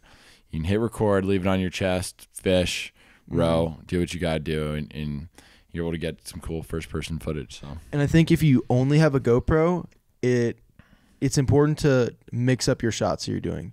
So maybe do some chest shots, maybe take it off and put it on tripod mhm. because the autofocus is really good on there. I mean, it's you you don't, there's no manual focus for it. yeah. So like like shooting with a GoPro, you don't just need to shoot chest shots. Like if you're shooting a chest shot and you have a 30 minute video and it's a chest shot the whole time, like look at your retention rate on YouTube. It's probably not great because like you just need to mix it up. The viewer every couple seconds needs to see something Mhm. different, you know. And so you can do all of that with a GoPro. That's what's awesome. Yeah, you, they're so small and you can mount them pretty much everywhere. Yes. Yeah, that's if you have a GoPro, get some mounts. I know on Amazon you can buy these kits of mounts that are like 20, 30 bucks. They're pretty cheap mounts, but you can put them on pretty much anything. Like get creative with it. Mount it to the handlebars on your bike. Put it on the top of your Polaris Razor when you're ripping down the beach in Baja. You know, mount it to the front of the boat while you're bouncing through the waves, getting splashed in the storm. You know, it's Yeah. like those creative angles you can get a go with a GoPro that you would never mount your mirrorless camera to. Yeah. Because I would never dream of doing some things with my GH5 that I do with a GoPro. So yeah. you can get those angles that you know not many other people are getting that way. So follow up question because you just touched on biking. I know we were talking about when we were skiing the other day of you've started to do some more filming for skiing and snowboarding this year. Mm-hmm. So what sort of and I know you do other stuff. You do you know mountain biking and a bunch of other outdoor activities that you already do. You film them, but how has filming those uh, impacted your filmmaking for fly fishing? It, yeah, definitely in a positive way. You know, it's getting involved in other sports and and doing things outside of fly fishing. You know, gives you a new perspective. I mean, it's you're using different things, right? You're you're on a bike, you're on a board, you're you're doing things differently. You're not you're not dealing with a fish. So I definitely gain an appreciation for fly fishing sometimes you know, when I'm sitting in a boat and it's 60 degrees and the sun's shining and we're on the river, mm-hmm. and then I'm on a s filming skiing and you know it's five degrees, it's dumping snow, the snowmobile's stuck. I have a bunch of camera gear. You know, it's Yeah. thing. there's situations that you you don't want to be in sometimes, but there's also that also goes for fly fishing. So a lot of it comes down to the gear, like when I film skiing, I'm having to deal with like my gear getting too cold or my hands getting too cold. And I learned to shoot differently just because you're dealing with different elements. And, you know, sometimes you're filming fly fishing in the cold, but I learned, you know, from skiing that sometimes I'll put hand warmers on my camera Yeah. and that'll Right. save it. So you know, there's there's little techniques that'll translate from sport to sport.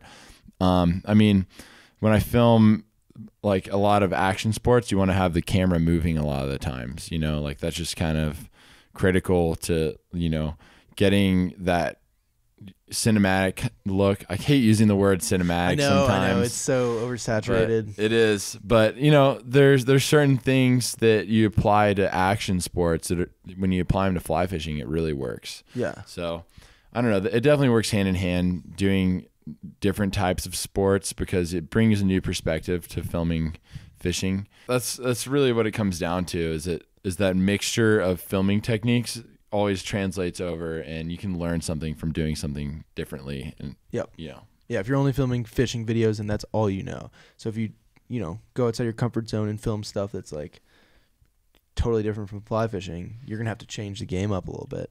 That's going to eventually apply to fly fishing.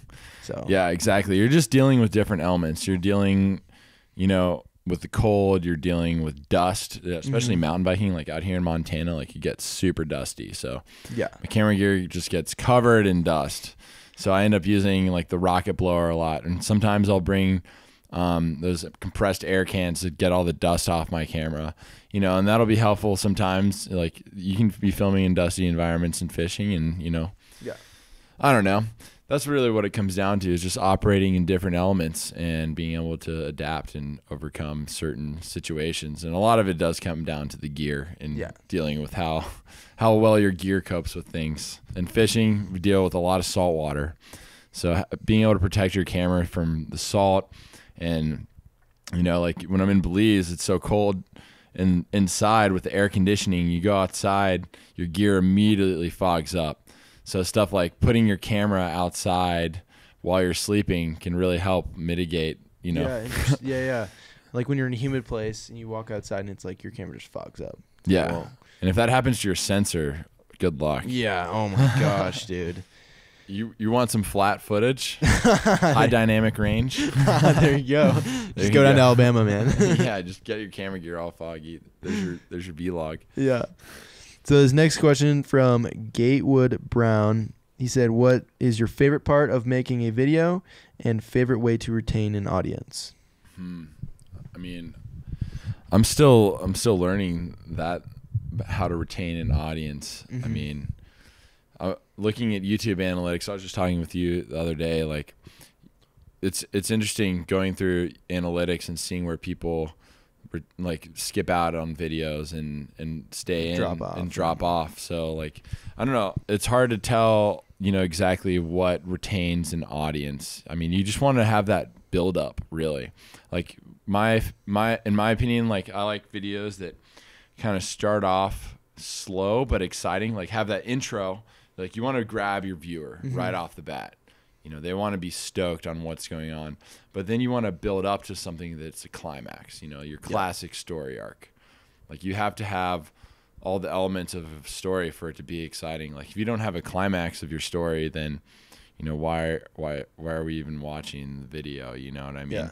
So, I mean that's to me that's what I like to do to retain an audience is like kind of have like tease at something that's building up towards a climax, make it more interesting, more interesting, like keep the viewer interested, and then eventually something happens that you know really ties it all together and and makes the story you know what it is and then obviously after that you can phase it out and kind of you know work towards your conclusion Yeah, of your story like, get So, out. I, Yeah. I think of it too for for you for YouTube videos specifically. It's like when you get to that climax and you have that big moment, and it's like I'm trying to get better at like just getting out of the video. It's like that moment, that big moment's happened. Now get out, like because Yeah. people have seen it and they're like, all right, they that's what they clicked on, like that's why they're watching all the way to this Mhm. point. So then get out as soon as possible. Um, while still, you know, closing out the story in a good Yeah. part, but you don't need to like drown it out no you know but i i also see the story arc as like you know you you're building up to this climax and you almost want these like little victories throughout the way. Yeah exactly. You know it's like little victory oh more stress. Little victory more stress kind of thing. And that's i feel like how you retain the audience. And it's something i'm you know we're both still working on. Yeah for sure. And you're trying to you know still figure out like what works what doesn't work. But the beauty of youtube analytics is it just it gives you that. Even if you don't like what they're telling you that's just the cold hard truth. Yeah. it's like people are dropping off at this moment because of whatever reason so just look at those little drops in your youtube analytics and that's definitely helped me at least Yeah, and and like if there are any challenges in your story, film it. Like any sort of challenge that you can overcome and create and and and push through the challenge and and resolve that that's what makes a good story. You Mhm. know, like anytime like you get a flat tire or you snap off a fish, like that build up like oh that stress like you're saying is what gets resolved and that's what kind of brings your story further is is those mini successes and those little victories. yeah So, yeah exactly Yeah, don't if if shit hits the fan, film it. Yep, totally. always be rolling. Always have the camera on you. Yeah. And that's one of the things I think people don't realize with filming fly fishing is like it looks like we're on this just awesome trip and it's just everything's good and everything's great and we're having a good time. Like we're having a good time, but there's also like we're not just fishing the whole time. Like the camera's right there. Like we got to sacrifice fishing time to film because you need to film Mhm. to like capture these these certain moments. So yeah, it's just a tough balance. Like yeah. the, and you, people don't see that, you know. I don't know. It'd be interesting to do like a behind the scenes, you know, kind of of like of fly fishing, filming fly fishing videos, or just to kind of show the process that goes into that. Yeah, there there there definitely is a process to it. Yeah. That's for sure. Exactly. Yeah, I try and film some BTS stuff here and there, but some it just ends up in a folder and it'll eventually get used. So, Definitely, dude. behind the scenes video coming soon. Coming soon, guys. Oh, okay, so this is a good one off of what we were just talking about. How do you protect your mirrorless cameras on the river? Yeah, that's a good one. You know, these things are expensive. You you really don't want to destroy your camera in the water, in the salt, in the sun. You know, there's a lot of things out there that'll get your camera. So, I mean, the best thing that you can do, first of all, if you're in a boat, use a Pelican case hmm Or some sort of waterproof. or some sort of waterproof case. Yeah. You don't want to bring a backpack into a boat because sometimes boats get water in them. They'll soak through your backpack. You know, filming involves a lot of gear. And not only your cameras get messed up, but your tripods, they all have moving parts, drones, all these things are vulnerable to the elements. So, I mean, wa- waterproofing is, is you know, you can't you can't just waterproof a camera and shoot with it all the time. You know, you don't want to have like this massive underwater housing that you're just shooting with. Like you're gonna have to hold your camera over the water to get the Mhm. shot. Like it's gonna be directly over the water in your hands. And if you slip and you drop that thing, it's going down. yeah. And you just gotta work on your grip. Maybe get one of those grip strengthening tools. Do some rock climbing. yeah, there you go. And but- buy insurance. and buy insurance. Yeah, but real talk, I mean, there's a lot of cameras out there that are weather sealed, and that's super important to consider when you're when you're buying a camera. Is like, is it weather sealed? Are the lenses weather sealed? Because some lenses aren't weather sealed, and they have to be able to get a little bit of splash on them. Like it'll it'll happen. Like it's gonna drizzle rain while you're out there, like fishing. It's just gonna happen, and it, you're gonna get little splashes on your camera. So when you're when you're buying a camera, definitely consider getting weatherproofed or weather sealed gear. On top of that, like having an underwater setup is is awesome. Um, not everyone can afford one. They're really freaking expensive just for a housing. You can pay more than you would for a camera. But if it is raining and and you are trying to get the shot, um, one thing you can do if you don't have an underwater housing available is just use like a trash bag and wrap a trash bag around your camera and use rubber bands or they make these things that actually go over your camera that are like Oh, meant for I've seen that, cameras. yeah. They're like these they're basically a trash bag material. I think they're clear, but they like fit around your lens, fit around your camera and you can like kind of stick your hand in there Yeah, around yeah. the buttons and operate. So, so like if it's raining or something, you can still use your camera. Exactly. Mhm. And you know, and that's when some of the coolest shots turn out is in the rain and in those harsh elements. Like goes back to what we were saying earlier, like documenting when the bad things are happening. Like say a rainstorm, thunderstorm rolls through, you want to document that because that's a challenge that you're overcoming in your story of pursuing whatever species you're pursuing. Yeah. So you have to battle the elements. We're forced to do so. It's the outdoors, you know. You don't have a choice sometimes. Yeah, there's no clear story every time. Like there's no happy ending every time also. So like sometimes No. videos is just like, well, we did what we could, man.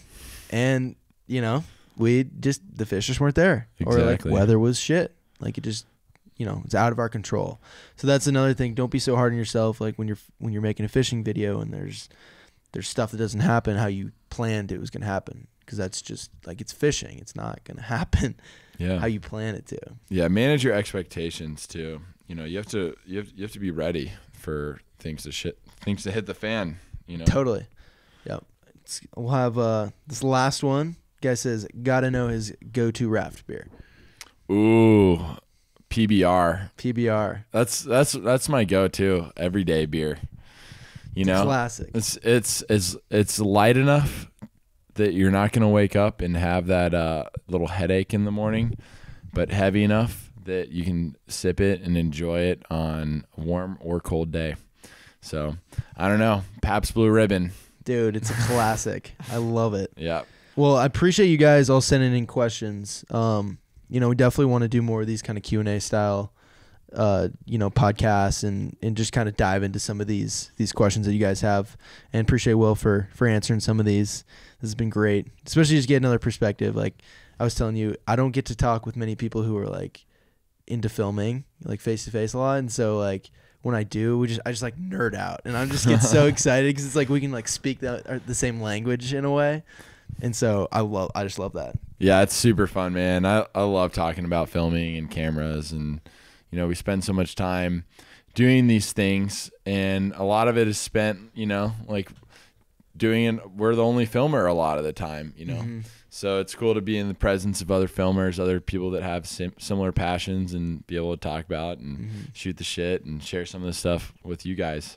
Yeah, So yeah, thanks for having me, dude. Yeah, of course, dude. Yeah. There's the shared experience too of filming and like putting together a video is is really unique. And I know we're we're we've we've got some stuff we're cooking up hopefully in the future that we'll be hopefully collaborating on some stuff here here soon. I would love to. But two more questions before we close. Um, one, what would you say is the biggest mistake that you made getting into this that you'd want to tell your younger self? Yeah, I mean, I think one of the biggest mistakes that I make sometimes is worrying too much about gear or or relying too much on the gear. Because, you know, there's times I'll go on a trip and I'll bring so much stuff and I don't use half of it. Mm-hmm. So, I mean, as I've filmed more and more, I make a point to use every piece of gear I bring at least once. You like, if I bring my drone, like I'm gonna at least get a drone shot, even if it's the shittiest drone shot ever. I'm gonna fly it and use it just because otherwise it's completely pointless if I'd brought it to freaking Argentina and not even flown it once. You know, it's Mhm. a long way to go.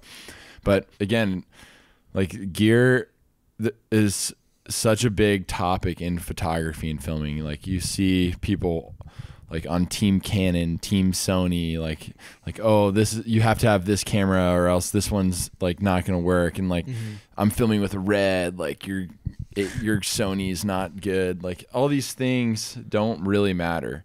Like all cameras are good if you know how to use them. They all are. Like you can't really buy a shitty camera these days. If you learn how to use any camera, you can get shots that you want to if that you want to get, Mhm. and it, it really comes down to the to the Indian, not the arrow kind of deal, you know. Gotcha. So that's my best piece of advice is don't get hung up on your gear. If you have an iPhone, shoot with your iPhone. You're going to be able to make a cool video. Like I remember there are these guys, I think it was Sherpa Cinema or Camp 4, they made an ad for Apple for an iPhone all shot on iPhone and you'd watch it and you wouldn't be able to tell. You'd think that they shot the whole thing on Reds, but it was all shot on an iPhone. yeah. So it's like when it comes down to it, don't worry too much about your gear. If you have the knowledge and you understand how to use a camera, then you will be able to get good shots. Mm-hmm. You know, there if you put someone that's really at the top of their game in filmmaking with an iPhone and then someone who has never operated a camera in their life with a red and they both go out filming, which camera is going to get a better video? It's probably going to be the guy that actually Yeah. knows how to use camera with the iPhone. So I don't know. That's just my two cents. No, it's good. It's like again, concept over production value. Like Yeah. if if you understand how to use it, and that's also with the iPhone, you can now change your settings. Like you can change, you can film 4K and 24 frames a second, or you can film in slow mo. You can film 30 frames a second. You can film 60 frames a second, and you they have like 240. Like if you if you utilize all those settings that you already have on your phone, you can mix it up already on your iPhone. You know. Yeah. And so yeah, it's just understanding that and going, you know, learning and uh, learning as you go, pretty much. Yeah, exactly. I honestly think I just might sell all my cameras and start filming on an iPhone only. Dude, an iPhone only YouTube channel. Let's go. yeah. All right, so last question: What for you? What if you look into like the future? Let's say like five, ten years down the road. Like, what is next for you, and what do you want to do uh, with the rest of your career or going forward with your career? I mean, moving forward, I want to expand into other areas of outdoors filming. Um, you know, like we were talking about earlier, I really like, I love fly fishing, but out here in Montana, it's more of a seasonal thing. And I'm not I haven't been traveling as much lately because of COVID and and that sort of thing. So, you know, I, I spent a lot more time filming skiing and snowboarding this winter. So moving forward, like it's cool to have kind of a seasonal gig. You know, focus more on skiing and snowboarding in the winter, and then in the summertime focus more on fly fishing and mountain biking, and you know, keeping a well-rounded palette of sports to focus on. Really, it makes my fly fishing videos better because, like we were saying earlier, taking the time off and then coming back to it with fresh eyes instead of just filming the same thing over and over again, you just get in this rhythm and you don't even think about it and you're just getting the same shots over and over. But if you take a step back and do something different and then come back to fly fishing with a, a fresh set of eyes, I feel like it's almost even better than as if I'd spent the whole time just filming fishing, if that makes any Yes. sense. Absolutely. You know what I mean? Totally, dude. That's so, So- good. I think it's huge advice. And uh, yeah, dude, I I really appreciate you know spending some time and chatting out about this stuff. I hope you guys who are listening, hopefully this this will bring some value to you if you're uh, trying to get into videography, or photography, or anything like that. Find people who are in, have a similar interest as you, and find people who are better than you, and just learn from them and talk with them. And um, yeah, no, I, I no, it's super fun. I really appreciate you coming on, dude. And uh, if you guys also, if you haven't already, go check out Will's YouTube channel. We'll link it below. What for people who want to find you on, on social media and want to check out your work, where should they find you? Um, you can find me on Insta Phelp, uh, at Phelps406. Um, I got a link to my website. You can check out some of the stuff that I don't really put on social media. You can see, you know, more of my personal work and stuff that I'm working on currently. Um, and also, yeah, YouTube is a great place to see my most current per, like videos that I'm making myself. You know, I do stuff with off the grid, and I do a lot of other work. And obviously, I can't really post that stuff to my YouTube channel. Um, but if you go on my website, I usually link all that stuff on there, so you can see some of the other work that I do outside of YouTube on my website. Yeah, So definitely. yeah, feel free free to click around the links. So There's some film tour movies in there. yeah, and just some really badass stuff. But sweet, dude. it's been a ton of fun. And uh, yeah, if you guys have made it this far, hit that subscribe button. Make sure you like this video. It helps us out a ton and it helps us know we're, we're doing the right thing. And yeah, let us know if you guys have any more questions about stuff that we can cover in a future episode or if you've, uh, you know, what you think about the episode. If, if this helped you at all, we, we would love to hear it. So again, appreciate you guys, guys listening or watching, and we'll see you guys in the next episode. later.